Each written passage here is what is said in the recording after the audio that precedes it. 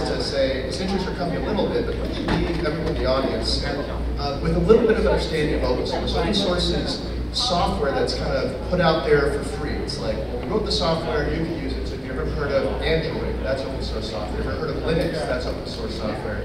And Mattermost is open source software too. And what I'm going to share with you today, you know, some of the dangerous secrets. And what do we mean by dangerous secrets?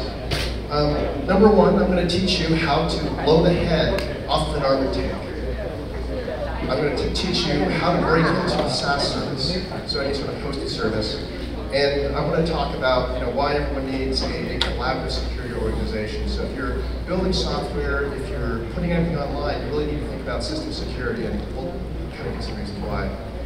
So a little bit about myself. Uh, I grew up in Canada. My parents immigrated from Taiwan. Uh, I was a Microsoft engineer, got about a dozen patents. I was the head of, Outlook and OneDrive Microsoft. Uh, I was part of a company, SpinPunch, that was doing video games, funded by Y Combinator. And then I created, I co-created the Mattermost open source project.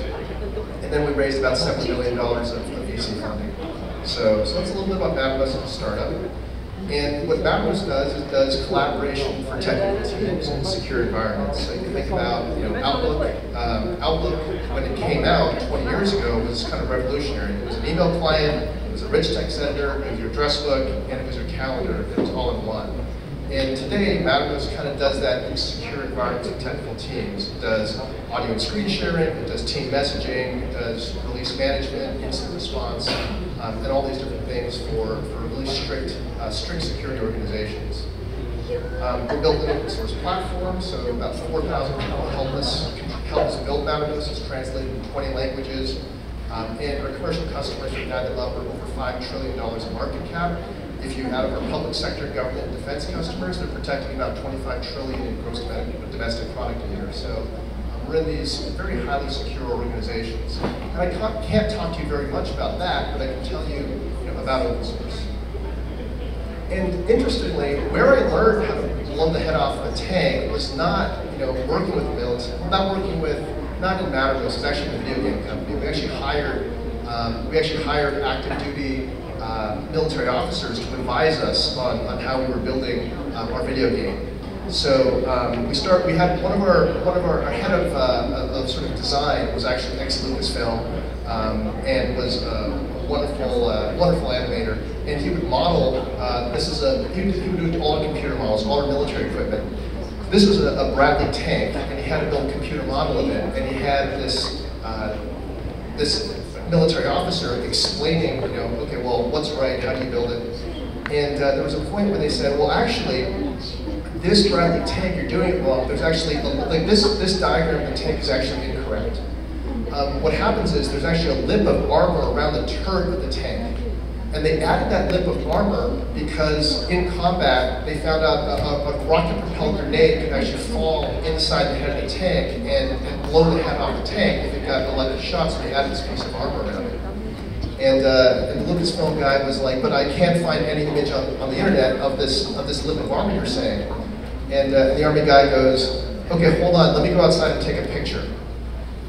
So, you know, he, this is this is kind of like the this is kind of like the daily vehicle he had. And what we learned from that experience was actually that the armor designs of this tank um, and of military equipment are actually open source. They actually put the plans out there. The the electronics are all classified and confidential, but the actual tank armor is not. And the reason why is because, well, if you find a problem in the tank armor, you want to know about it as soon as you can so you can, you can address it. Um, and that's kind of the design. And that was you know, a use of open source to actually improve the security of these, of these vehicles because you know, anyone can see the armor from the outside. There's really no, there's really no confidentiality, so why not put the plans open source as well? So that was uh, a super interesting example. Uh, and that brings us to that first sort of dangerous secret of open source, and that is that nothing useful can actually be secure. So this is a really important understanding. And if you talk to security people, if anyone says, hey, this is perfectly secure, nothing's perfectly secure secure because nothing useful can be secure.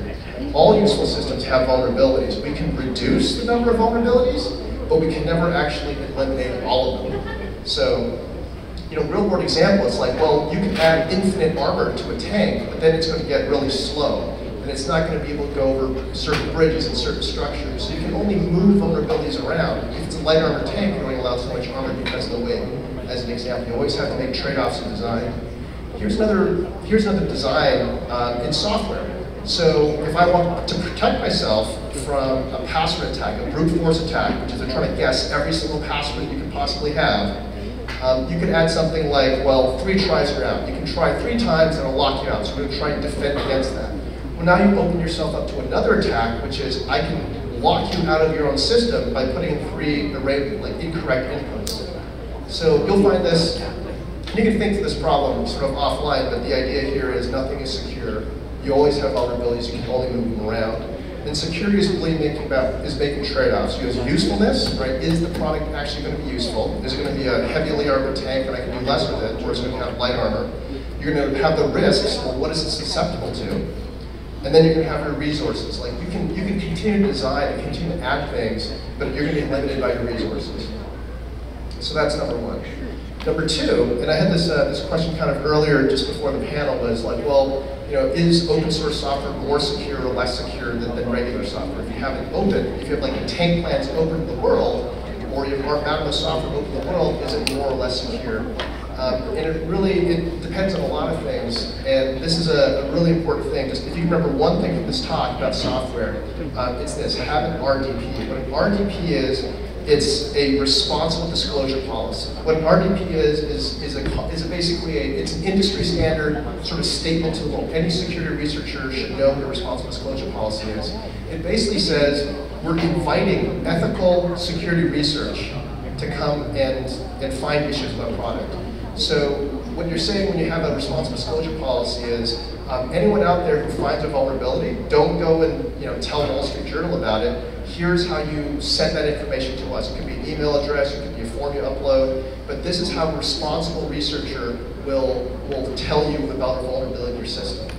And anyone who does security research knows that this is the ethical way of doing it. And what happens is, in that policy, you say, well, we're going to look at it, we're going to investigate it, we're going to take it seriously, we're going to have a policy of fixing certain classes of vulnerabilities, pushing out the, the fixes to, our, to whoever is using the software, and then at the end of all that, we're going to disclose what the, what the issue was, and we're going to give you credit. So you actually have a hall of fame for anyone that contributes to, your, to improving your security.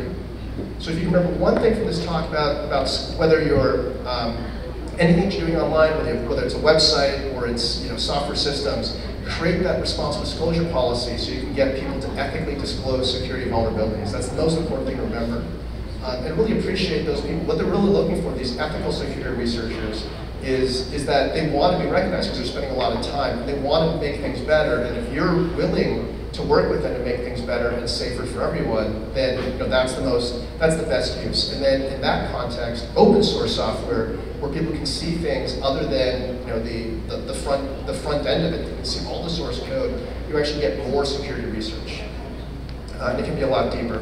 Um, and as you, as you get this, as you get these disclosures, you really have to patch and harden and communicate and announce that. As long as you do that, then the contract with those researchers is, is valid.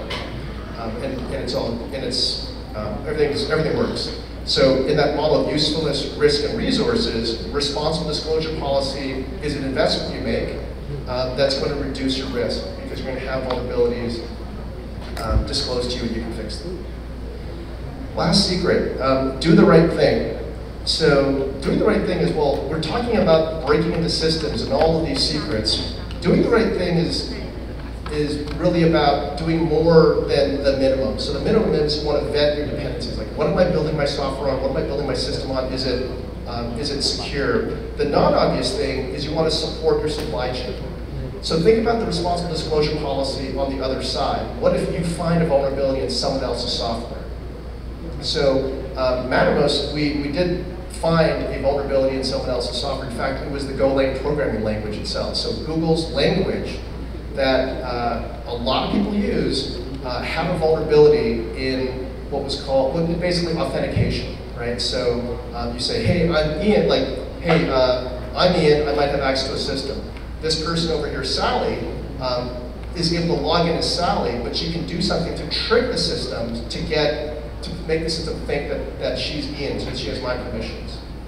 So we discovered this, and, uh, and we could fix it. Well, actually, we never actually used it. We were actually considering using one of the Golang libraries. We found this issue, and we didn't use the library, but we spent three months of our time, our security team's time, working with Google, working with all these people that you know, potentially were affected um, to solve the problem. We didn't have to, but when you think about you know, what does it mean to be part of the community in security, not only keeping your system secure, but keeping the ecosystem secure, this was, you know, just the right thing to do. We couldn't sort of like not do it uh, just because of how we think about security and research and responsibility. So um, let me, and you know, one of, the, one of the things I said I'd teach you is how to break into, into software. So we're going to teach you exactly what the vulnerability was.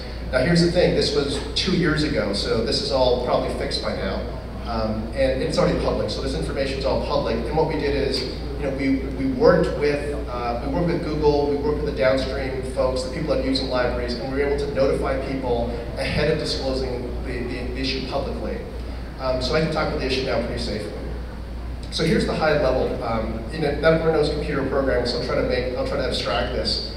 Um, you know, you design something with really heavy encryption and verification environments. That's your design.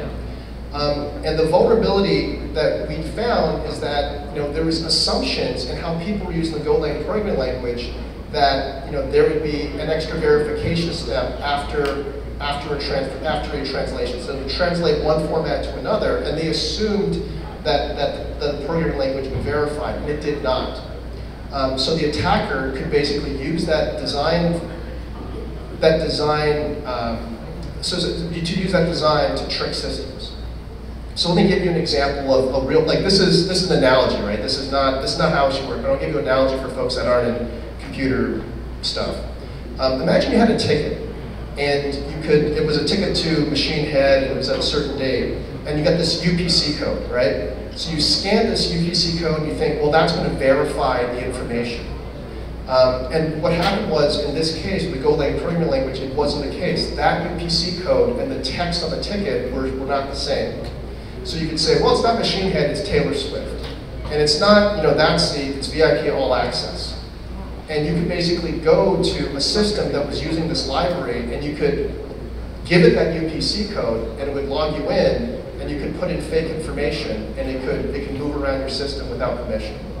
So that's an example of what we found. We spent three months um, and, and fixed it with Google. And that's, uh, and, and you know, that's the that's the third thing to think about, is really how do you participate in the security community um, as part of securing your supply chain. You with, if everyone is securing their supply chain, then the whole ecosystem kind of gets better. So if these secrets are new to anyone in the software org, you know, please think about um, think about empowering your security team, bringing on your security team, up leveling your security team. If, this, if any of this information is new in your software, please go think about that. Um, expect everyone who runs software, just expect to have vulnerabilities. Expect a security breach to happen. And, and that's generally a safe way to go because um, it, it, does happen, it will happen, it's just a matter of how, how about when. Uh, yeah, and that's what I wanted to share today, dangerous secrets of open source. I hope you learned how to blow the head off the tank, and remember that nothing useful can be secure. I hope you learned how to break into a SaaS service um, and understand the importance of having a responsible disclosure policy so you can, you can avoid, you can minimally minimize the risks uh, that are out there. And I hope that I've made a point on why everyone needs a, a collaborative security team and why it's such an important investment for everyone that is in software. Thank you so much. Um, feel free to connect with me on, on LinkedIn or Twitter. Um, I'll be around after, I'll be over here for the, the Q&A, so, so thank you so much. Uh, I'll let him uh, step down uh, for a rest.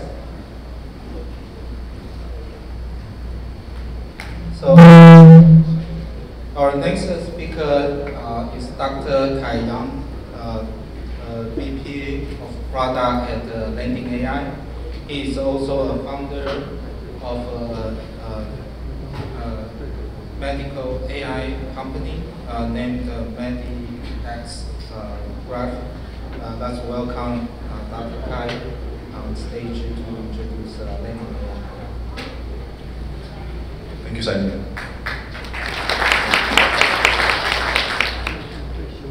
It's a pleasure to be here and uh, love to share a couple stories that I've learned AI for the past few years. Uh, so my name is Kai. Uh, I'm running the product team at Landing AI. So what do we do? Uh, in Landing, uh, we build a computer uh, software platform to make computer vision super easy. Uh, the company, you were what company, so the company is formed by Andrew Ng. Uh, for people into AI, probably know Andrew is one of the most famous figures in AI. Before landing, he found uh, Coursera, which have taught about 6 million people to AI all over the world. He is also the founder of Google Brain and the founder Baidu AI team. So one mission when we work together landing is to democratize AI. And more precisely that uh, is to democratizing the uh, computer vision AI, uh, vision for AI. Uh, so why it's so important is because uh, in my previous career, in Andrew's previous career, uh, we have seen that computer vision has been creating so much value in Baidu, in my company, in all domain. And we are really envision that this technology, the modern AI-based computer vision, can also benefit other industrial industries, like everyone. So this mission is very important to us. Uh, so when we get started, so we get started in with manufacturing, not the most sexy component, uh, sector, but for manufacturing. And so we're starting with visual inspection. So what's visual inspection? Like the idea is very simple. In the manufacturing process, can be in the middle or all the way to the end, that people put some human or camera to see whether the product they produce, for example, like this phone, have any defect. Is that a good product that we call OK product? Also product has some defect, we call NG product. But this visual inspection process usually has been widely adopted for all the applications, from very large, like steel manufacturing, like making steel rolls, uh, to automotive part, to the solid state battery that we drive every day, uh, to a small wafer inspection. Like this inspection, visual inspection has been adopted in many places. In fact, this putting a camera in the manufacturing line to detect defects, has been there for 20 years. Quite exciting for us. So let me share with you one fun story. When we get to this area about two years ago, the first we learned is actually there are more, more than 50% of the inspection tasks today still not human, more than 50%. You can imagine it's a very repetitive task. And the human sitting there looking the same form, the same part over again for whole day. The worst part is human is actually not very reliable doing this. Human have emotion, you get tired. Statistically, a human only good for 80% of accuracy for this visual inspection task. That means that some product actually got shipped out to you, to us, with some defect there. Um, so it's interesting that we thought there's a lot more automation happen in this domain, but it's not. Why, why is this? Uh, the reason we found is the computer vision algorithm that run behind the camera was not good enough. It's not as good as a human. Here in Silicon Valley, we also hear the deep learning, the computer vision for AI is just as good as human. So AI is the solution for this one. Is that the case? Again, two years into this area, we found that it's not the case. Actually, look at all the manufacturing customers that we I work with. We found that less than 25% of those AI-based inspection projects really go live. Go live means that AI system is really in production line, doing their job 24/7, generating business value. There are tons of of concept projects going there all the place, but very, very, very few really land production line generating value. Very surprising. So why is the case? Right? It's very weird. We see on the research paper here in Silicon Valley, everything goes so well. Why in the real world, um, the AI deployment is such rigor? So I want to share with you two important observations that we found um, called the biggest barrier for AI adoption. The first one is uh, called small data. So here's the thing. All the AI applications that we enjoy today on the, on the internet application are actually trained by millions, if not hundreds of million data. Even in school, when I study AI, the data set I play have 10 millions of images. But it's not applied to the real world. So here's one interesting survey I did last year in Automate Show in Detroit. Automate Show is one is the largest uh, manufacturing conference. So there are 400 people sitting here like this. So I do a question, my question in the keynote, said, hey, like, dear owner of the manufacturing line, tell me how many images do you typically have for each product which has defect, where AI model can be learned from. The answer is not surprising us. This is surprising the audience. Usually more than 50% of the, of the manufacturing line has less than 50 images. And this is very, very different than what we learn in school, which we always train with millions and millions of images. So we draw one conclusion that the technology is the AI practice that we learn from school or we adopt uh, from internet company just cannot apply to this domain. And this domain does not have the same problem, does not have the same luxury of rich data. This is, this, is the, uh, this is the barrier number one. The number two we found is actually long tail problem. Let me draw something fun for you. Let's say we draw, uh, we list all AI project and we sort it by the decreasing order of value with something like this. Right in the head, there will be some AI project like advertisement, like Google advertisement. It's so valuable. Like one AI model worth five million dollars per year, generate five million dollars one AI model, right? Web search is another important AI model in the head. This is what I know. Uh, Andrew told me if do this generate 2 billion value per year. This is why Andrew can put 300 data scientists and machine learning engineers to work on this single web search model.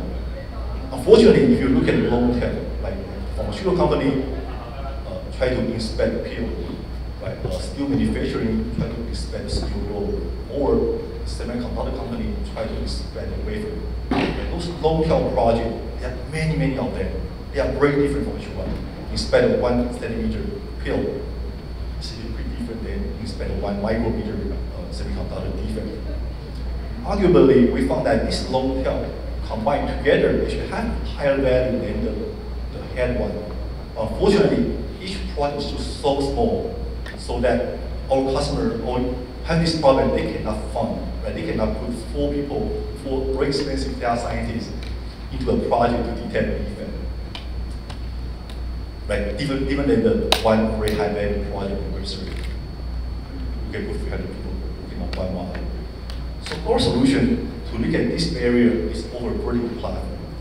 Uh, so that we can enable uh, our users in the particle vectors, particle verticals uh, to uh, building AI model and using the word data-centric approach, uh, which we'll introduce later.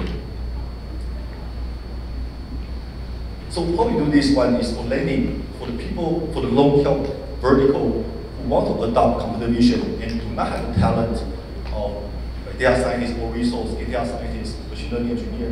What we do over the platform, software platform called LandingLens. It's a super easy to use platform. It's a cloud-based, a cloud-based everyone can come in, don't need to worry about your GPU, don't worry about your software installation, and start using in one second. It's no code platform so that you don't need to have, the user doesn't need to have a deep learning or machine learning training to really use this platform to get the production level model ready. And then we also take off deployment, all the very deployment that deployment on the cloud, on the edge, right, on the very cheap GPU device, or on a very heavy duty machine, uh, server can help that. So uh, uh, I want to share with a few couple real example we have working with us company. Uh, this is one uh, China, uh, a steel manufacturing company from China. Right, the idea for them is try to inspect steel roll 1.5 meters. and the speed is going for like one seven meter per second speed rolling.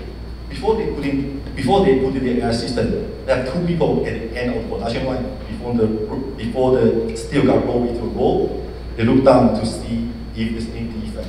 Oil spot, it's scratch, if anything, the guy or the girl click the spot to, to mark where the defect is. So they use our system to help to put a camera at the end of the uh, production line and do the automation inspection. Really help them to reduce the, only the people sitting, the people sitting there to do this job, also make the product quality much, much higher. The other example I want to share is actually a company, uh, fab, a US-based fab. So what they do is, in addition to know whether the wafer is good or bad, it's very, very important for their downstream uh, process to know why this wafer is not good, right? Is this wafer not good because of a scratch or some residue in the wafer? You can imagine that would be very important information for the upstream process engineer to fine-tune the process. So again, they license our tool to help their team, their science team, to start building the system, to put a camera, uh, microscope camera and do the analysis. We help them to reduce their 36 people you know, do a day job um, doing this classification of the images, totally reduce that, totally auto, auto, automate that, and save a lot of costs for them. Um, changed, but these are all the customers that have been working using our platform to enable their team to build computer vision uh, solution in very, very field. I want to share with you one technology behind the platform that we are building uh, is the data-centric AI. I believe one previous uh, speakers also mentioned this. So the idea is very simple. In the AI system, the way we build it is there are two parts. One is code, right? one is data. The code is neural network. The neural network always will be used. Data is the data we train the AI model. So traditionally, this is how we do at school, right? We feed the data set. The data set, want to do competition, we feed the data set. We go in to find the best AI model, to the hyperparameters to get the best result. This is kind of what we do, but this does, does not apply to the real world. In the real world, the situation is, is more like we fix the code. Say is good enough. What's really matter is the data quality. And then, so, so, so the approach we did the platform is we fix the code of algorithm and have all the tools to help all the people to work on the data. I want to double click on one of the examples that I shared in the previous uh, steel manufacturing. So actually this is the company two years ago when my team worked with them. Uh, they have been working, trying to repurpose the human to do inspection for a long time. What, so they collect about 4,000 images with, different, with 32 different different types. So you here can be scratch, can oil spot, and they really need to use this information to grade their steel, steel quality. So what they have been working on is have someone building an AI model, try to get good result um, for this inspection. So what they got for six months is 72% accuracy. So they invite my team using our tool to help them. So actually, it's a good experience we did. So one thing we do is we do, I call it data-centric approach.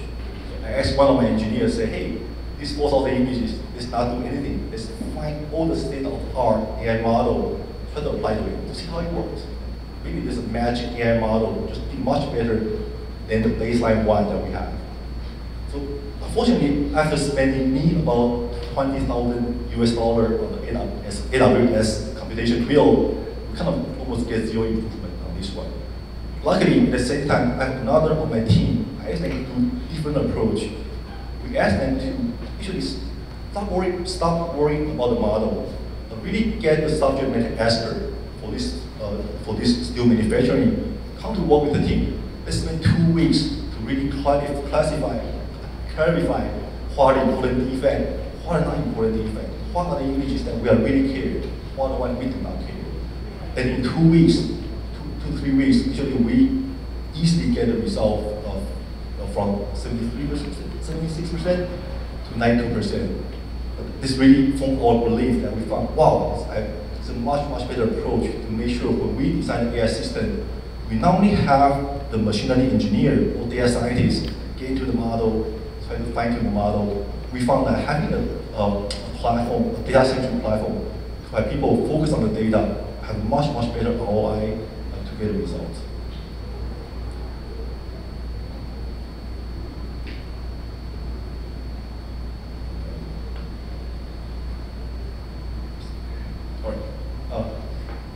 Uh, uh, uh, as, as, I said in the beginning, that goal is really democratizing AI. We believe computer vision is not only we who have the computer vision or machine learning background uh, can use, can enjoy. Everyone can enjoy this platform. So, uh, February last year, our company decided to open up our platform. Everyone today, go to our website, landing.ai. On the left corner, you will see join for free. You can breeze in one second, create create an account and start building your computer vision project. And uh, one more thing I so many of you probably enjoy the ChatGPT moment for the past few months. And the fundamental, the foundation of that is the large language model, or we the language model, the foundation model for language. It totally changed how we interact with computers. I can share with you on the computer vision side, the same thing's happening. That, that uh, people, we start using the large foundation model for computer vision. It's going to totally change how we interact, how we interact with computer and how we build computer vision AI model. On next Tuesday, upcoming Tuesday, Andrew is actually going to have a live streaming event to share what of the latest uh, development that I think has been doing for six months, past six months visual visual prompting is totally going to change how we do computer vision. I say too much here. Uh, I'll invite you to join the, uh, the, the, the 30 minute live streaming next Tuesday. Uh, I believe the last slide. Thank you. Uh, I'll be here. If there's any question. Thank you. Yeah, thanks, uh, thanks, uh, Bob. And, uh, welcome, uh, Yang Gogam, back on the stage.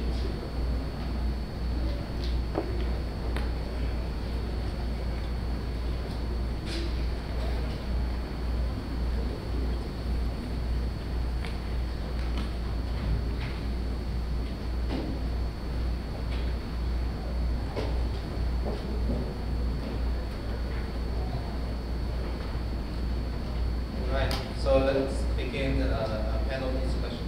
Uh, so my first question will go to Yang uh, from Animals, uh, an open source uh, security collaboration platform. So uh, people often associate uh, open source with uh, as a free or local uh, product, uh, but you need to get enough revenue to support your team. So how would you, you know, communicate with your customers about the right uh, you know, cost of the service? Uh, yeah, can you share with me? Yeah, that- that's a great question. So, if you're interested in building open source uh, businesses, the good news is user acquisition is a lot easier because a lot of people want to use free things and they get the full source code, they have full control over it. You a business? It's basically three categories. Uh, number one is the is selling services or support, right? So it's open source, and we're going to help you. Uh, we're going to help you install it. We're going to help you upgrade. We'll build things for you. This is, I, I, in my opinion, this is not a great model um, because you know, the more effective your open source project is, like the more money you make, which is not it is it's not great for the end user. It's also not great for the company because you're you're just doing things that um, are, are just a sort of service just for just for your time, right? The second way is you host open source software. Um, and you'll see this with companies like, like WordPress, right? Where like you go to WordPress, you can host it, but you can also host it from like WP Engine or Amazon or GoDaddy or anywhere else. So the second category is hosting it. Um, and that's okay, you can make some money. The, the challenge is, well, if you get popular, other companies can host it, AWS can host it, or, or Microsoft. Um, so then there's kind of a question mark on that way. The third way, which is probably the most, um, if you're going to get a venture-backed company, the most typical way you do it, is it's a model called open core. And what open core means is you've got the open source project, which is free and it can use, but then you add different sort of typically enterprise features on top of that open source. So what happens is the open source might work really, well for a small team or for for individuals, but if they want to adopt it at scale, then you want to have features like user management and you know, workflow and things like that, then they have to buy the, the bigger version. Um, and then they buy a subscription to your commercial version. And the way you make this model work really well is you want to make sure that there are two different audiences. There's a end user that likes your free stuff, they'll adopt it, and they don't really care about the enterprise features. And then you have the enterprise product, which really appeals to IT and CIOs and has all the management things. So um, that's typically how you design it. So public companies, if you're interested in learning more, you can look at GitLab or HashiCorp, their S1s. Um, this is the open core model, and this is the one that a lot of companies are, are adopting. Thanks. So similar question I will ask uh, Kai. Uh, uh, Landing AI is also uh, data-centric, uh, uh, you know, AI uh, computer vision platform for customers, right? So uh, nowadays, many of us, many company want to use the power of AI, but they never done before, and probably don't know how much it's closer to maintain a team or, or building a model themselves. So how do you communicate with uh, your customer talking about you know, the cost of the service? It's actually a great question. It's actually one of the things we learned for the past two years a lot. Um, every company adopt AI in very different stage. Some companies are very advanced. Some companies are Uh, give a try. I don't know. Chicken egg situation. So the thing we learned working very well is try to make the business model as usage based or consumption based. The more you use, the more you pay. The more value you see, the more it's very, very hard for AI company to have a business model like one feed, maybe half million, and you can use more you can eat. It's a very, very typical business model. So I think all the company, even we see today, going for the know, cost, uh, usage-based pricing, we pay. So the, the, the mature customers who use a lot, see a lot of value, can pay a lot.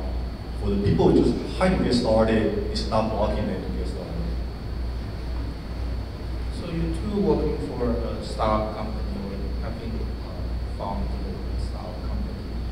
Uh, you are providing service uh, you never received before. Uh, what's the most challenging thing when you are trying to uh, engage a new customer as a company paid and also use this?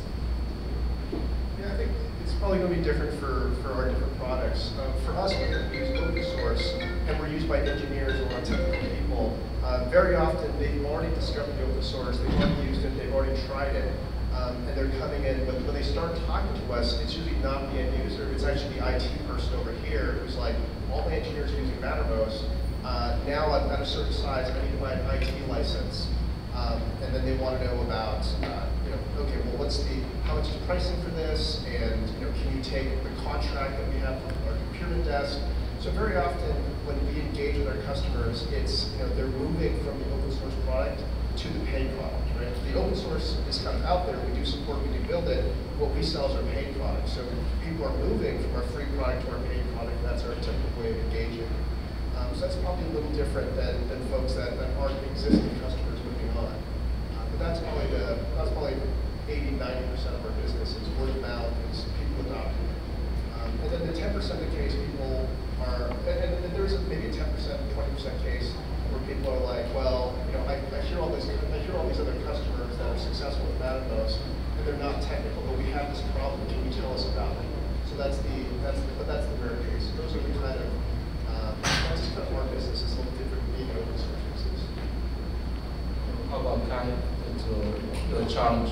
for AI is very, is very different. So, um, so there, are, there are three categories I see. First one is if, if our customer or user already know that they have a computer vision problem to solve, easy you know. But there's, there's a bunch of customers do not know they need this, it's hard to sell.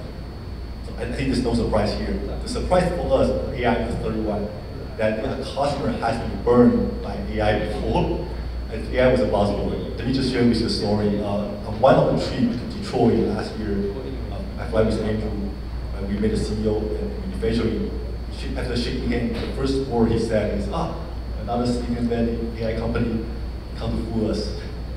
This is how much they got burned before, and we had to come in to tell them what AI can do, cannot do, and where the value is.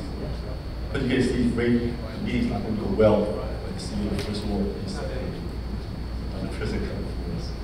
Can you tell us some of your your most interesting or most successes, you know, case, your customer case stories? Yeah, I think one that's, um, so we do a lot of uh, defense and uh, government and, and tech companies, uh, so we have to kind of rely on them telling the story. So one, so to, to share it publicly, um, one that, that is public is, is around Air Mobility Command, the U.S. Air Force. So um, the U.S. Air Force has used Mattermost. Um, it, started with developers, um, and it's gotten, so it, it's gotten you know kind of popular, and they started building applications on top of our communication platform. So Air Mobility Command, U.S. Air Force, um, uses Mattermost for electronic flight bags. So if I wanted, you know, before they used to have 75-page binders, you have to like, you know, shuttle back and forth in order for plane takeoff. And now it's all done electronically. All the plans are done electronically. All the plans are shared. Um, they can send messages sort of back and forth, confirm things, sign off, e-sign. Uh, and you know, that just has dramatically transformed how quickly uh, and efficiently they can work. So before, you know, you might only have 30 minutes um, before the plane takes off to review the flight plans and, like, and, the, and the physical flight bag. And now you can have over two hours with our system because everything is done digitally. So you have a lot more time to find to find issues, to, to solve problems, um, and everything moves uh, just just far better. So that's just one example of, uh, hey, you've got the communication platform, what can you do with it? You can build workflows um, that really increase your, your reliability, increase your speed, and, and really increase the, the quality of the entire process. You must be very proud of this project. Yeah, absolutely. Just uh, a lot of folks are, yeah, absolutely. So I believe there are more uh, interesting story happening in the AI area. Could the guys share? Uh, Yeah. I, I think for us is a star, like the, the one you remember most is the first customer, right? The first big success. For us is one of the large solid state battery company.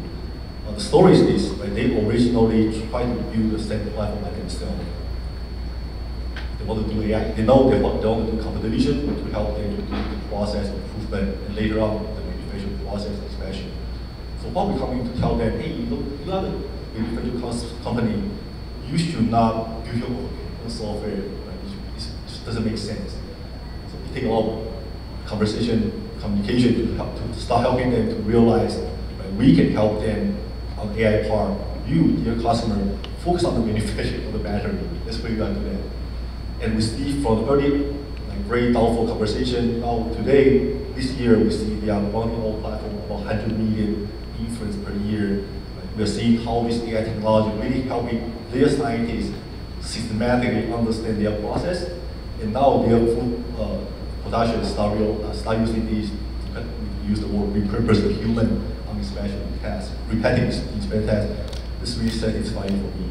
And for us, is when this customer they are manufacturing customers, even they are Silicon Valley based, not have machine learning engineer like to do this job. And then having a using simple platform really help their scientists, uh, which we with science, and using the platform to do the computer vision task. That's, I think that's the most important one to me personally. And uh, I think AI and security is a buzzword uh, these years. And uh, uh, I I wonder if you can using uh, technology from the other side to help your business. Ian, can you using AI in your business uh, um, or, or, or product? Yeah, absolutely. Um, so, you know, for us, there's this technology, ChatGPT, and for our communication system, system um, a lot happens in chat in real time. So, you know, how do you take that information? So, there's different use cases around summarization, right? And how do I bring in the conversations as well as the data?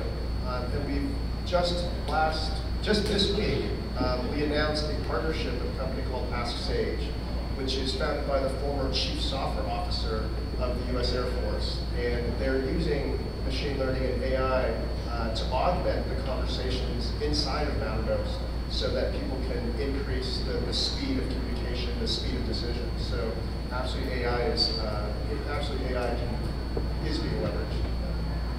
So how about uh? You, your companies, how you, how your company treating about the security?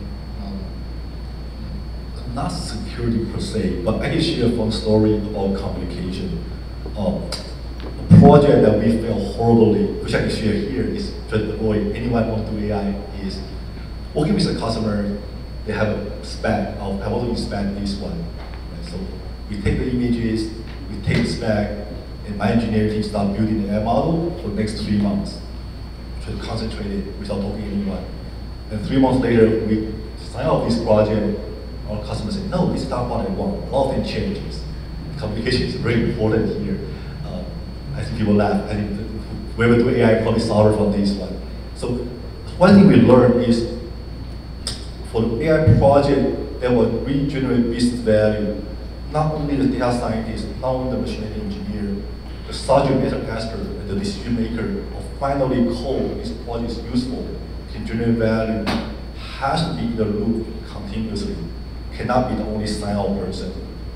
We learned this in a very, very hard way that when data scientists say, hey, leave me alone, give me three months, I get a 99% accuracy, we call precision result, come back, this is not what team wants. It's very, very easy. Like, the, the engineering team look at the magic that we care, forget about the big picture. Um, so this is actually one reason we build this platform as a cloud, cloud-based platform is where everyone the manager, the decision maker, the subject matter expert can all log into a single place to look at the progress of the project, to communicate, to change, change course. So for uh, other uh, security cooperation uh, tool can be helping, you know, across the company and can helping uh, the project like the cooperation in the company. Uh, so, you know, working for a startup, we must be quite uh, sensitive about the uh, outside financial environment. You know, the I think the, uh, from early last year, um, you know, the financial environment become worse, and uh, this year recently we heard some news like uh, uh, Silicon Valley Bank collapse. Uh, so, would share uh, what uh, you feel about the current outside fundraising? Yeah, the, um, so funny story that, you know, SVB melted down, and as it was happening, like, it was just like chaos in the startup community. Um, so we had two banks. We always have a, so for us, you know, we have a uh, financial institution that's of our, cash reserves, and then we have an operating bank, and we don't keep them together just for safety, like, you know, because uh, we're that sort of safety industry. Um, and SVB was our operating bank because they actually had pretty good operations. We didn't have, we had less than 10% of our cash like at SVB. Um, but when it was sort of melting down, we were opening up, because uh, because we went two regional banks. We actually went to the Bank of America to, to get like a systematically important bank, right? So that was a safe one. And it was like Friday, right? And like every startup is like, it's like there's lines everywhere. It's like just all these, all these, like all the, you know, Chase and and Bank of America were just like packed with like startup people, you know, desperately trying to open accounts. Um, and uh, it wasn't that bad for us because we, had, we didn't have much cash for operations. Um, but I remember the person that was sort of behind me, uh, like went up to them and basically said, like, I have a check for $100 million that I need to cash right now. And, and, that's how bad. And then, and then we end up, uh, yeah. And it's and that's just like an example, right? And I, I told it to got connected BofA, they opened an account for us. It was, it was, good. We had good people who helped us um, kind of move around things. Um, and then I told the story. And she's like, "Oh, the biggest one I've had so far is 150 million." So it's like there's multiple. So when SVB was, was kind of you know melting down, people were doing withdrawals, and we couldn't wire them out, so we just taking cashier's checks. So it was, you know, this is one of those things where you, you know, you have to tell your kids like what it was like on that day. Um, and uh, surprisingly, you know, things bounced back pretty quickly. Um, there, was a, it's funny, with the panel that just, just before this one, which was on like cryptocurrency and Bitcoin, right? I'm kind of like, and I was like, well, what's the purpose of like, of like you know, cryptocurrency right now? What's the use case? I'm like, well, the banks just melted down. It's not a bad use case. So um, the funding environment, I think, is it's I think it's really interest rates. It's less than everything else, right? Interest rates are, are going up. The cost of capital is going up, um, and just mathematically, like less capital is available. You actually look at, you look at the fundraising, you know, markets and things like that, um, and it's tighter now. At the same time, you know, some of these, some of these uh, moments in our history is when the best companies are built, right? Because it's only the very best deals that are getting funded. It's only the biggest opportunities. So I think um, it's it's going to be harder, but that also means we're going to have less competition. So I think that's the opportunity right now. Yeah, uh, I remember Andrew uh, write a, a strong uh, letter uh, uh, Silicon Valley Bank's uh, collaboration. Uh, Kai, because we did not sleep for two days. Okay, Seriously.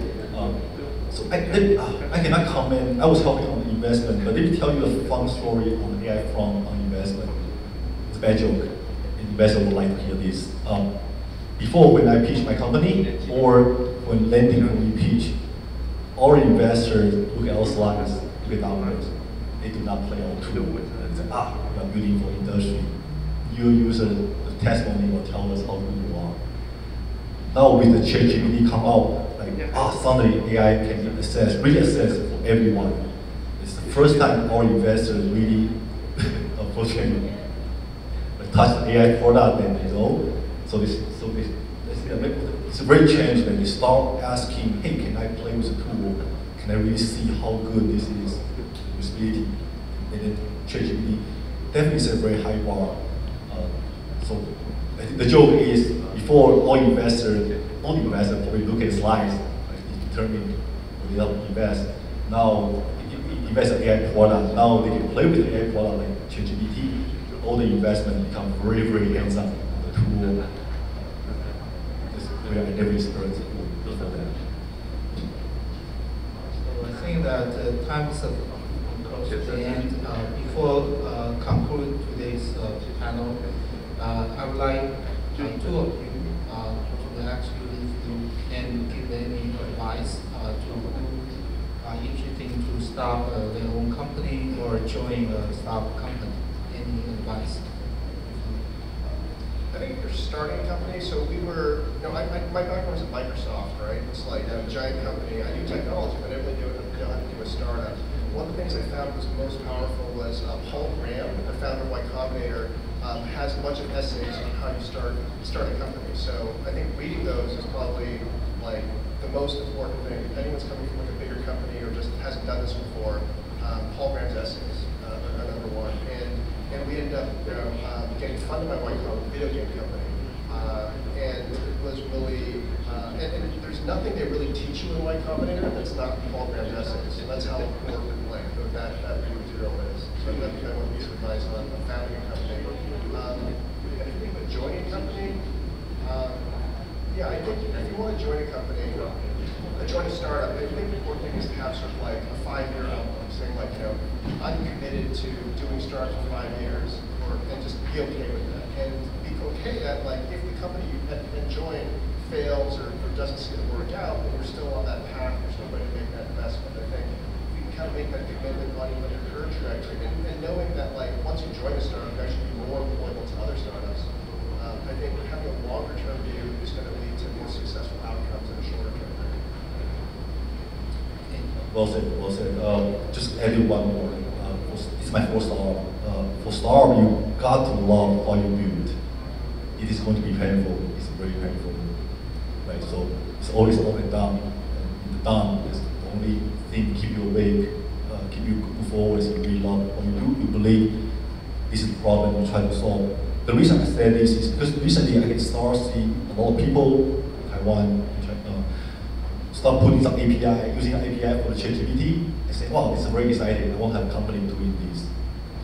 Talking to them, you can imagine some of them do not really have a passion of this problem.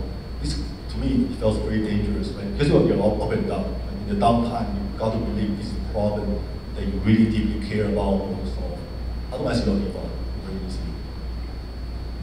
Right, uh, that's uh, concludes uh, today's uh, uh, panel. Thank you, Simon. Thank you. And uh, um, the slides for Dr. Kai Yang were not loading up correctly.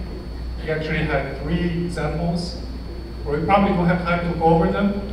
So maybe anybody interested, we can talk to Dr. Kai Yang directly. Thank you. Yeah, that's uh, give our two let's present back the two speakers. Our chairman, Brian.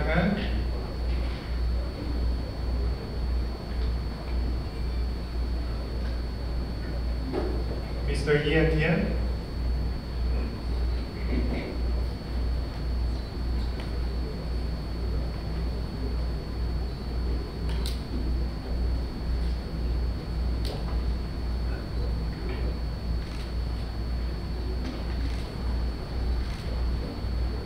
Dr. Kai Yang.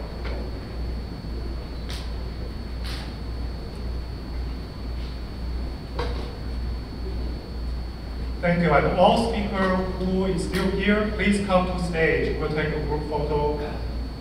All